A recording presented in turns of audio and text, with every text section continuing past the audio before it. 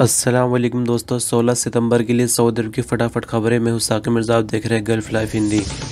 Saudi general civil aviation authority ने कहा कि सऊदी अरब में सभी इंटरनेशनल एयरपोर्ट पर फ़्लाइट के लिए तैयारियाँ कर ली गई है। जैसे कि आपको पता होगा 15 सितंबर से जो फ़्लाइट का ऑपरेशन गल्फ़ के लिए शुरू किया जा रहा है, उसके लिए सभी तैयारियाँ कर ली गई। इनफैक्ट बीते दिन, यानी 15 सितंबर को पहली फ़्लाइट सऊदी अरब से किसी गल्फ़ कंट्री गई है, उसका नाम यहाँ पर नहीं लिखा गया है। सिविल एविएशन का कहना है कि मिनिस्ट्री ऑफ़ हेल्थ और दूसरे संबंधित इदारों के हवाले से जो भी एस होनी थी, उसकी तैयारियाँ पूरी तरह से एयरपोर्ट्स पर कर ली गई है।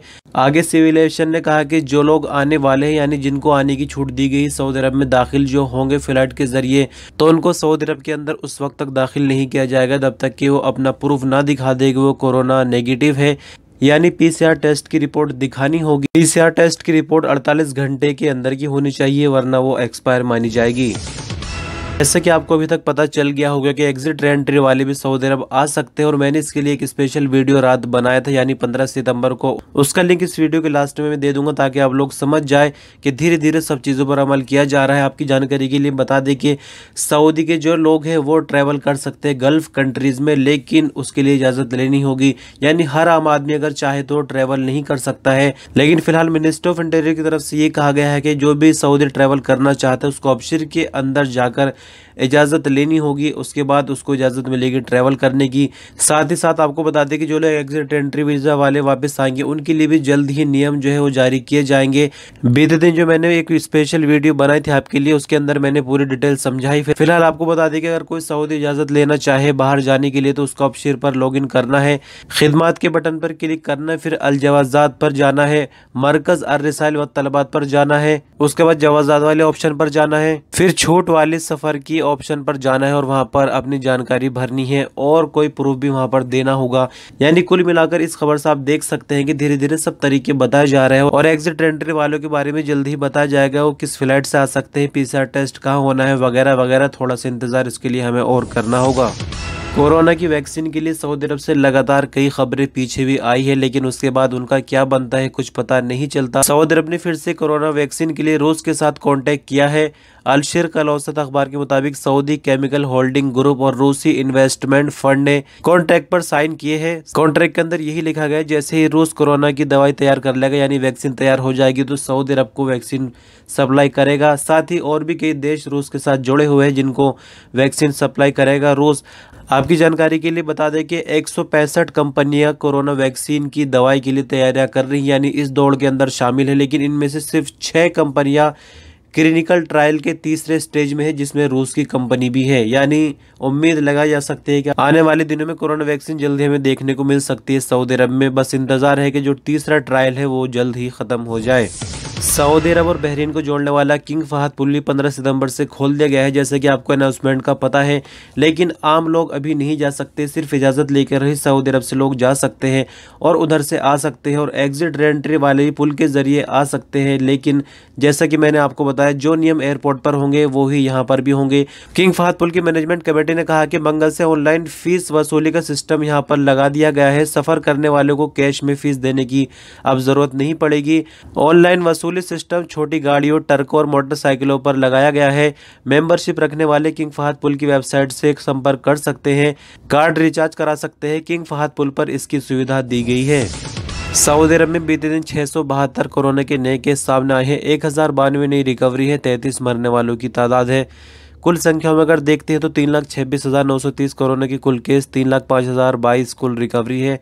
चार हज़ार तीन सौ अड़तीस मरने वालों की कुल तादाद है। सत्रह हज़ार पाँच सौ सत्तर एक्टिव केस है जिनमें से बारह की हालत नाजुक है, जिनको आईसीयू में रखा गया है। सऊदी रोड सिक्योरिटी फोर्स ने कहा कि जद्दा यम्बू हाईवे पर स्पीड की नई लिमिट रखी गई है जो बराज सत्रह सितंबर से इस पर अमल शुरू हो जाएगा। बयान में कहा गया है कि छोटी गाड़ियों के लिए प्रति घंटा जो रफ्तार है, वो 140 किलोमीटर है। बसों के लिए 100 किलोमीटर प्रति घंटा की रफ्तार है, जबकि ट्रकों के लिए 80 किलोमीटर प्रति घंटा की रफ्तार तय की गई है। जद्दा में एग्जिट आठ सौ इकहत्तर सोल कुबरी से यम्बू में एग्जिट 150 मजमा कुबरी तक यही रफ्तार चलेगी। रोड सिक्योरिटी फोर्स ने हाईवे पर सफ़र करने वालों से अपील की है कि जो भी हाईवे पर रफ्तार रखी जाती है, यानी जो बोर्ड वगैरह लगाए जाते हैं, उन पर जो लिमिट लिखी गई है, उसका पालन करें। उससे ज़्यादा रफ्तार से गाड़ी ना चलाए। सऊदी अरब में ट्रैफ़िक हादसों की देखभाल करने वाली इंश्योरेंस कंपनी नज्म के executive chairman Mohammed Al Sulaiman ने कहा कि बीते दिनों लॉकडाउन का सिलसिला चल रहा था कई महीनों से। आप सभी को अच्छे से मालूम है तो इसमें हुआ ये कि गाड़ियाँ ज़्यादा घरों से नहीं निकली, लोग सड़कों पर ज़्यादा नहीं और एक्सीडेंट का अगर रेशो देखें तो बहुत ना कि बराबर सऊदी अरब में। तो उन्होंने कहा कि जो इस दौरान इंश्योरेंस कंपनियाँ हैं, उनको बहुत बड़ा मुनाफा इन दिनों हुआ है, बहुत प्रॉफिट में कंपनियाँ चल रही है। आगे एग्जीक्यूटिव चेयरमैन ने बताया कि आने वाले टाइम में गवर्नमेंट की तरफ़ से कुछ और नई स्कीमें लॉन्च की जाएँगी जो कि इंश्योरेंस सेक्टर को बढ़ावा देने के लिए होंगी। उसके बाद भी इंश्योरेंस कंपनी को और फ़ायदा मिलेगा। यानी देखा जाए तो लॉकडाउन से दुनिया में आर्थिक संकट आया है, लेकिन इंश्योरेंस कंपनियाँ मालोमाल हुई है।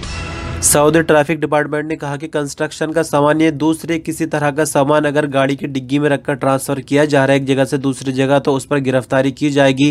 खबर के मुताबिक एक अजनबी गाड़ी के अंदर लकड़ी वगैरह भरकर दूसरी जगह ट्रांसफ़र कर रहा था, यानी वो कंस्ट्रक्शन के काम से जुड़ा हुआ था और जो पर्सनल यूज़ के लिए कार होती है, उसी के अंदर उसने सामान भर लिया था और किसी सऊदी ने उसकी वीडियो बनाकर डाल दी। सोशल मीडिया पर वीडियो वायरल हो गई। पुलिस ने उसका नोटिस लेते हुए उस बंदे को गिरफ़्तार कर लिया है और आम लोगों के लिए मैसेज दिया है कि जो छोटी गाड़ी होती है, वो पर्सनल यूज़ के लिए होती है, उसको कमर्शियल यूज़ में नहीं ले सकते, अगर कोई ऐसा करता हुआ पकड़ा जाता है तो उसकी गिरफ्तारी होगी, उस पर कानूनी कार्रवाई की जाएगी।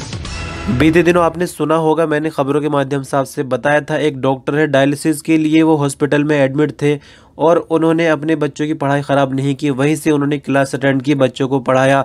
एक दूसरा वाक्य ऐसे देखने में आया है, रियाज में सऊदी स्कूल के उस्ताद मोहम्मद अल फीफा कैंसर के मरीज़ है, उन्हें अस्पताल में रहना था कई दिनों के लिए, लेकिन उन्होंने भी सेम ऐसा ही किया, अपने फ़र्ज़ को अंजाम दिया और मदरसती प्लेटफॉर्म के ज़रिए बच्चों को पढ़ाया।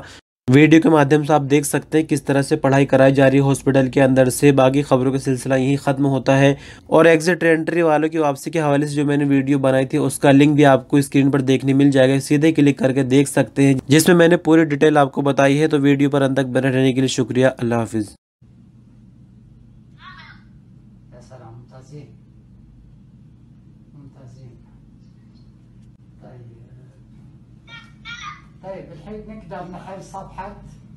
58